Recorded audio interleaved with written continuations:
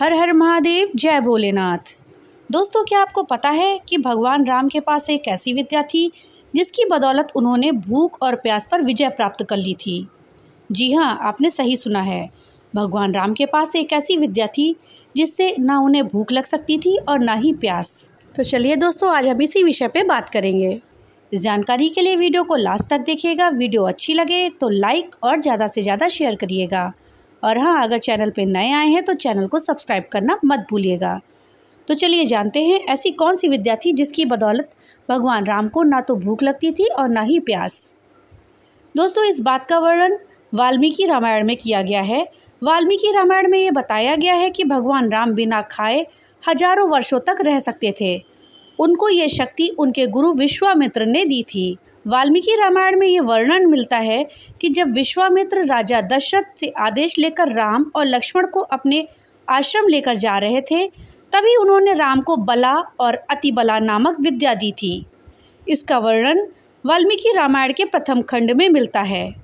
इस दिव्य विद्या के प्रभाव से कभी भी थकावट का अनुभव नहीं होता था। इस विद्या के प्रभाव से किसी के रूप पर भी कभी कोई विकार उत्पन्न नहीं हो सकता था।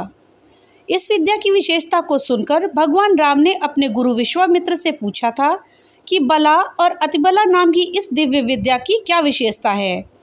तभी विश्वामित्र ने कहा, राम, इस दिव्य मंत्र के प्रभाव से तुम्हें कभी श्रम का अनुभव नहीं होगा, ज्वर नहीं होगा, तुम्हारे रूप में किसी प्रकार का विकार या उलटफेर नहीं होने पाएगा। सोते समय या असावधानी की अवस्था में भी राक्षस तुम्हारे ऊपर आक्रमण नहीं कर पाएँगे। बला और अति बला का अभ्यास करने से तीनों लोक में तुम्हारे समान कोई नहीं होगा। ज्ञान और बुद्धि संबंधी निश्चय में तथा किसी प्रकार का प्रश्न उत्तर देने में भी कोई तुम्हारी तुलना नहीं कर सकेगा। इन दोनों विद्याओं को प्राप्त हो जाने पर तुम्हारी कोई भी समानता नहीं कर पाएगा, क्योंकि ये बला और अति बला नामक की विद्याएँ सभी प्रकार के ज्ञान की जननी हैं। बला और अति बला का अभ्यास कर लेने पर तुम्हें भूख प्यास भी कष्ट नहीं दे पाएगी। इसलिए रघुकुल को आनंदित करने वाले राम, तुम संपूर्ण जगत की रक्षा के लिए इन दोनों विद्याओं को ग्रहण करो।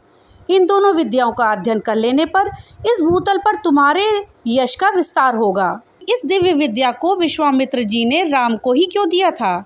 इसका भी कारण वाल्मीकि रामायण में उन्होंने बताया है। उसमें लिखा है कि राम के अलावा इस पृथ्वी पर कोई दूसरा नहीं था जिसे इस विद्या को प्रदान किया जा सके।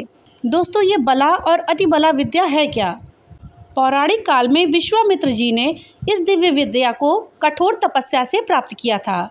विश्वामित्र जी जानते थे कि रामचंद्र जी का जन्म ही राक्षसों के संहार के लिए हुआ है।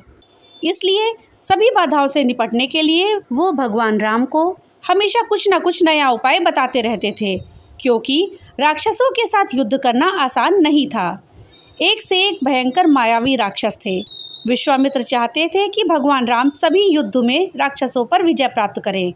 इसलिए भगवान राम की जब विश्वामित्र के साथ यात्रा प्रारंभ हुई तो शुरू में ही विश्वामित्र जी रामचंद्र जी को बला और अति बला नाम की विद्या सिखाना चाह रहे थे।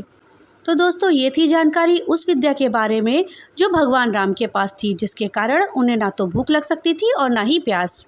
भगवान भोलेनाथ सदैव आपकी रक्षा करें। तो मिलते हैं अगली नई वीडियो के साथ। तब तक के लिए राधे राधे